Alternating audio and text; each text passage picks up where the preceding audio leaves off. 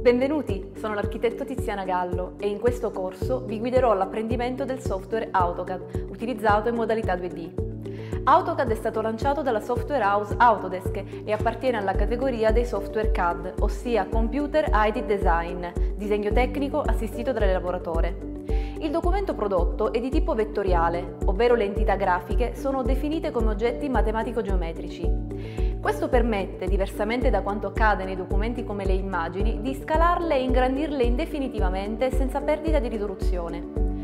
È inoltre uno dei software più usati nei vari campi della progettazione per l'estrema precisione che consente di ottenere. Utilizzare AutoCAD oggi significa entrare in un circuito preferenziale costituito da progettisti di alto livello che lavorano con un interscambio di file per mezzo di un software dotato di un linguaggio universale.